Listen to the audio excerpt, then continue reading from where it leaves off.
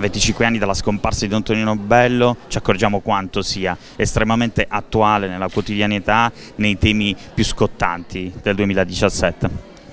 Ma di Don Tonino non si può parlare al passato,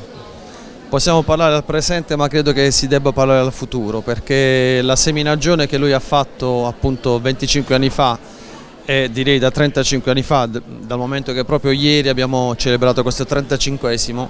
è una seminagione un po' lunga perché ha guardato troppo in avanti rispetto alla nostra capacità, alle nostre prospettive, però i frutti ci sono, alcuni frutti ci sono, tanta gente che ancora oggi porta avanti il suo pensiero, porta avanti anche le sue opere con tanta fatica perché è più facile portare avanti delle opere quando c'è il fondatore che le anima, molto più difficile portarle avanti quando manca ecco, lo spirito, l'anima, quindi eh, questo è apprezzabile, per me sono fioriture. I temi di Antonino sono temi assolutamente generatori, come lui stesso amava dire, cioè temi che generano vita, che generano movimento, dinamismo, che generano anche relazioni soprattutto, perché se c'è una caratteristica di Don Tonino è stata proprio la capacità di intessere relazioni con chiunque, credente, non credente, eh, di qualunque cultura. Ecco, questi sono temi assolutamente attuali, vista anche la cronaca di questi giorni, assolutamente attuali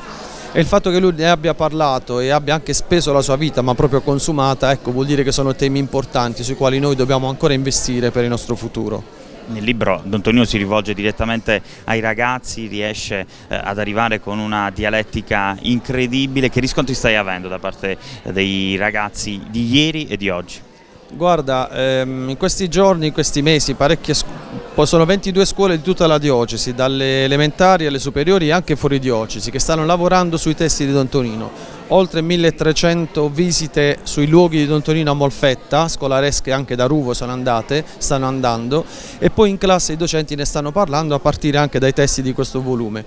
Ehm, hanno una presa diretta fortissima, proponendolo in un modo particolare hanno una presa diretta perché Don Tonino parla il linguaggio dei ragazzi ragazzi di oggi e ragazzi di ieri, quindi un linguaggio che è ancora oggi attualissimo. Ehm, I ragazzi rispondono molto